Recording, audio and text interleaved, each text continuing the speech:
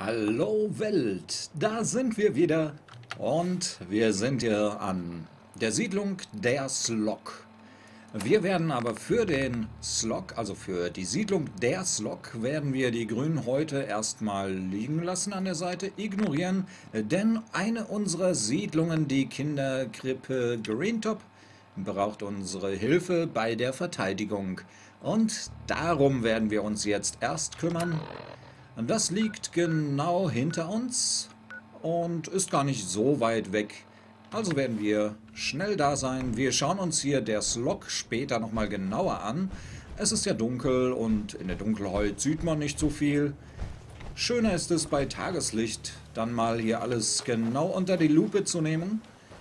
Also geht es jetzt erstmal zur Kinderkrippe und wir lassen uns da gar nicht groß aufhalten.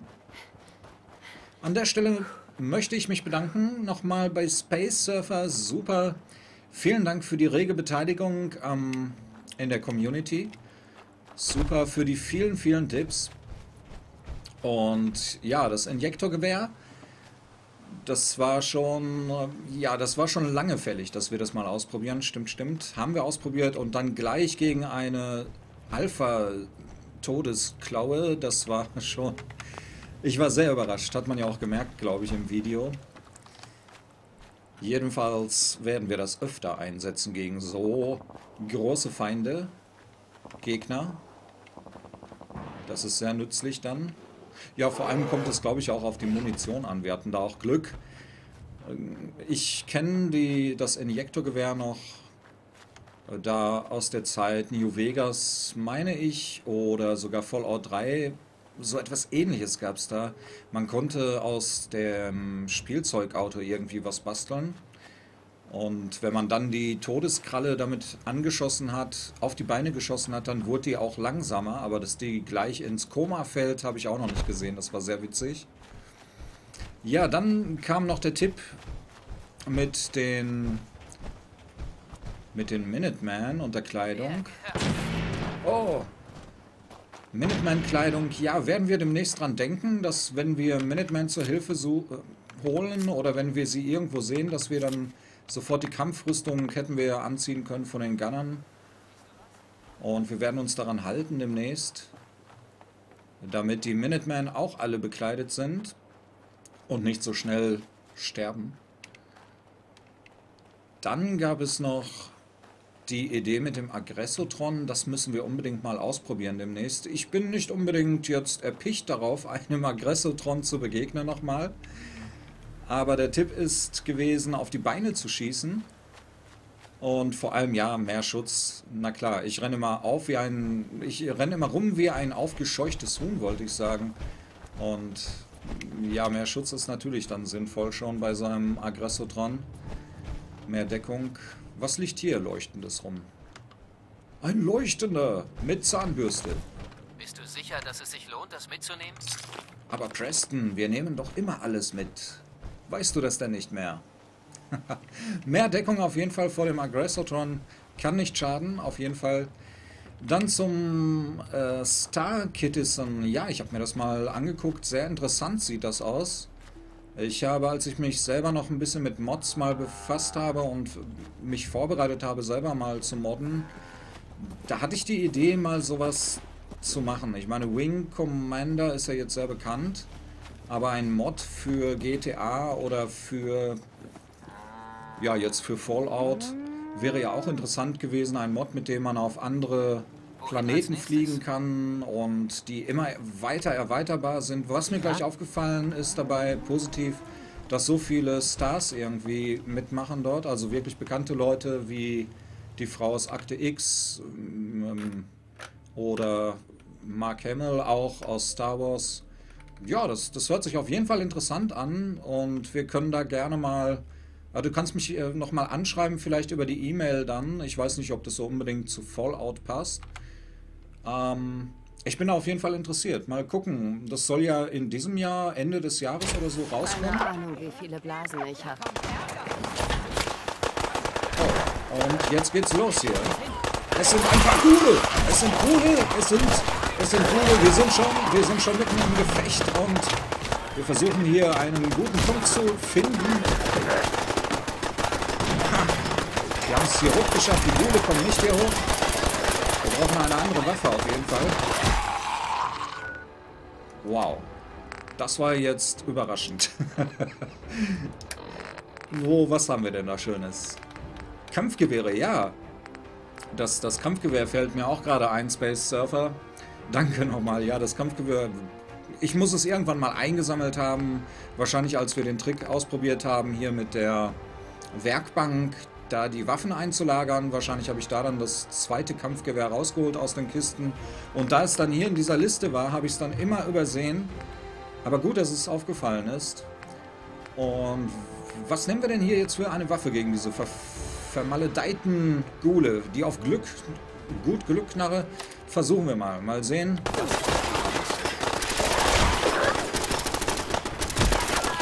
Treffen wir auch gut. Hat Preston denn seinen Anzug gelassen?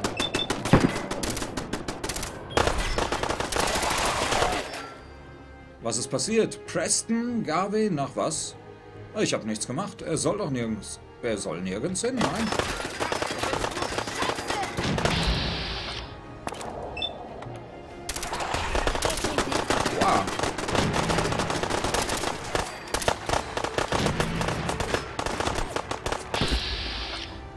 Was hat mich denn jetzt getroffen? Preston Garvey ist rot. Er hasst mich jetzt. Hier ist was schiefgelaufen. Preston darf mich nicht hassen. Die Siedler, ich habe wieder irgendeinen Siedler getroffen. Er ist verschwunden.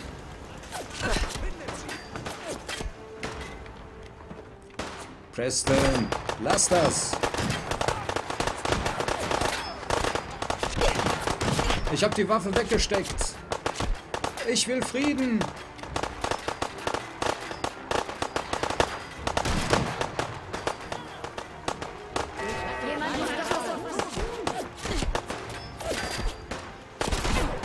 Ja, okay, wir haben abgeschlossen, aber das, das funktioniert ja so nicht. Denn jetzt sind alle gegen uns. Vielleicht hauen wir erstmal ab. Preston auch? Preston war der Erste, der rot war.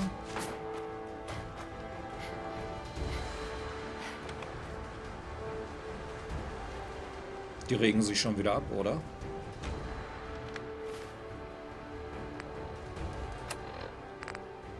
Ja, wir haben aus Versehen irgendeinen Siedler getroffen. Das darf man einfach nicht machen. Die nehmen einen das richtig übel. Die guten Siedler.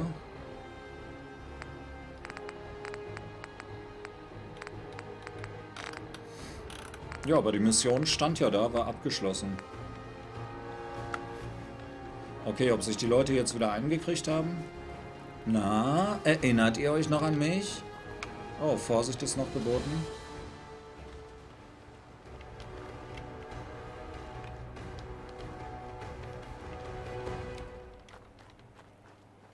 Tja. Ja, da war ich gerade ganz raus. Ja, äh, genau. Star Citizen. Äh, ja, äh, mal sehen, wenn das rauskommt, bin ich auf jeden Fall sehr, sehr neugierig. So, und jetzt? Immer noch Gefahr. Naja, das wird jetzt die Blähfliege hinter uns gewesen sein.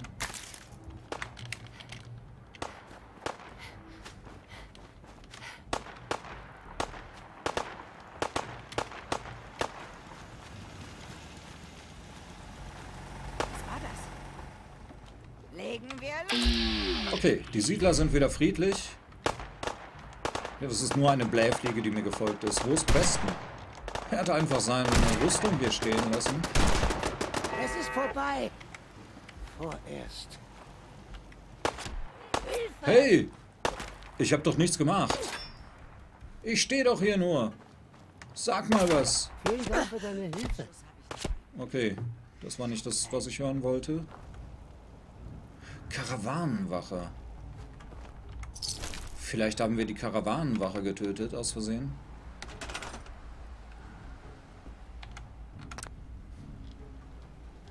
Zu wenig Betten hier. Ach, jetzt ist aber auch gut. Lass das. Guck, die anderen sind auch alle friedlich. Scheiße, scheiße. Was ist hier los? Mich an. Mich geht's Danke, dass du mir geholfen hast, sie abzuwehren. Okay, ich helfe gern und... Ja, ich helfe gern. Freut mich, dass ich helfen konnte. Dein Timing war perfekt. Wer weiß, was uns ohne dich hier zugestoßen wäre. Naja, wir wissen die Hilfe zu schätzen. Gut, gut. Könntest du mal mit der... Es gibt nicht mehr viele Ärzte. Du solltest mich dich mal untersuchen lassen. Und, und könntest du dann auch mal demnächst Ja. mit der. Bekleidungsverkäuferin Erzähl mir, sprechen? was für Symptome du hast. Die mag mich nicht mehr. Ja, Gesundheit wiederherstellen für 35 Kronkorken? Ihr seid aber teuer hier. Ich bin ziemlich mitgenommen. Oh, wow, das ist eine Menge Blut. Wir müssen sofort operieren.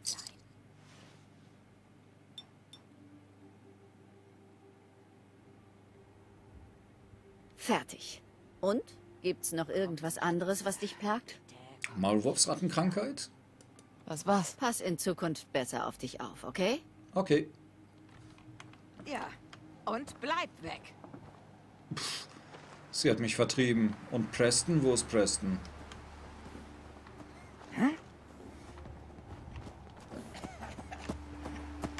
Ich will nur ein bisschen handeln. Okay. Schon gut. Legen wir los. Jemand muss doch was tun. Hör doch mal auf! Das ist doch jetzt gut. Ach, wir hauen hier einfach ab. Aber Preston soll seine Rüstung noch mitnehmen. Wo ist denn Preston? Er ist geflohen. Da! Ich nehme mir gleich die Waffe weg, wenn das so weitergeht. Kann ich das wohl? das wäre doch was.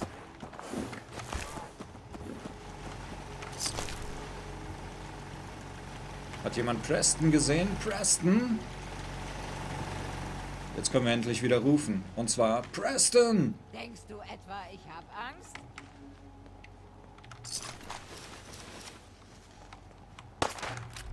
Oh yeah! Endlos! 44er Pistole. Unbegrenzte Magazinkapazität. Standardverschluss. Stummellauf, Standardgriffe und Standardvisier als aktuelle Mods. Schaden 48 und verschießt natürlich 44er Patronen, Feuerrate von 6, Reichweite 83, Präzision 65, Gewicht 4,2 und ein sagenhafter Wert von 433 Kronenkorken. Die nehmen wir mit. Und den Rest auch. Und wenn diese... Ist da jetzt noch jemand sauer auf uns? Die werden sich noch gegenseitig die Augen ausschießen hier. Wenn das so weitergeht. Schätze, du wirst nicht einfach weglaufen, oder? Hallo Siedler. Du siehst aus, als könntest du einen Drink vertragen. Aha. Nein. Nein, nein, nein, nein, nein, nein, nein. Nein, danke.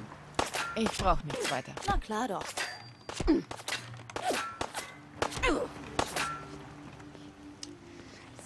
Vielleicht legen wir uns schlafen?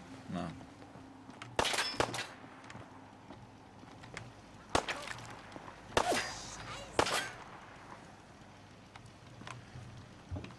Ja, wir müssen unserer Kleidungsverkäuferin unbedingt eine bessere Waffe geben. So viele Kochtöpfe hier. Und wir brauchen hier mehr Betten.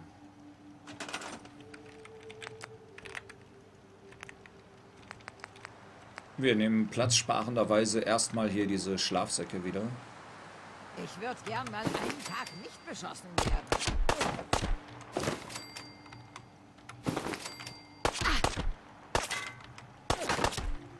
Ich schenk euch doch Betten. Was soll ich denn noch machen?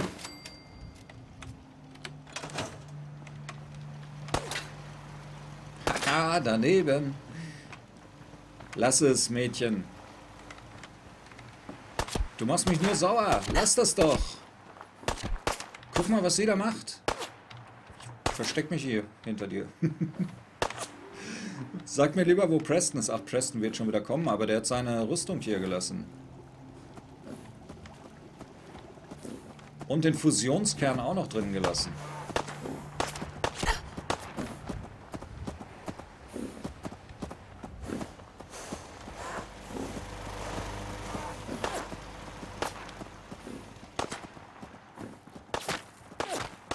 Kann das denn nicht mal aufhören? Sie hört nicht auf. Jetzt müssen wir im Nebel hier uns erstmal einen schönen Platz suchen für ein schönes Thumbnail. Oh nein. Man sieht ja gar nichts. Man sieht die Hand vor Augen nicht. Nein, die, die Hand vor den... Ach, irgendwas sieht man nicht. Man sieht gar nichts. Alles neblig hier. Das gibt kein schönes Thumbnail. Nein, nein. Ich bedanke mich auf jeden Fall fürs Zusehen und sage Daumen hoch und bis zum nächsten Mal. Macht's gut. Tschüss.